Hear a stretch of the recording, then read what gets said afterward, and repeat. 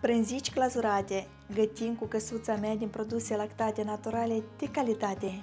Pasăm 500 grame brânză de vaci până textura devine fină. Adăugăm 80 grame zahăr pudră, cu 50 grame unt la temperatura camerei și o linguriță esență de vanilie. Continuăm să pasăm până ingredientele se leagă împreună.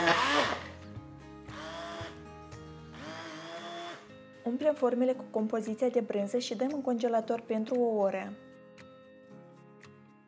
Pentru glazură așezăm într-un strat 150 de grame ciocolată albă și dăm la cuptor pentru 10 minute la temperatură 120 de grade Celsius.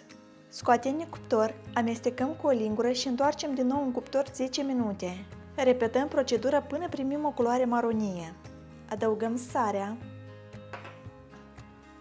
untul și untul de cacao. Amestecăm totul împreună, scufundăm fiecare brânzică în glazură, dăm batonașele la frigider pentru 40 de minute. Servim brânzicile glazurate. Iar noi vă mulțumim pentru vizionare. Poftă bună!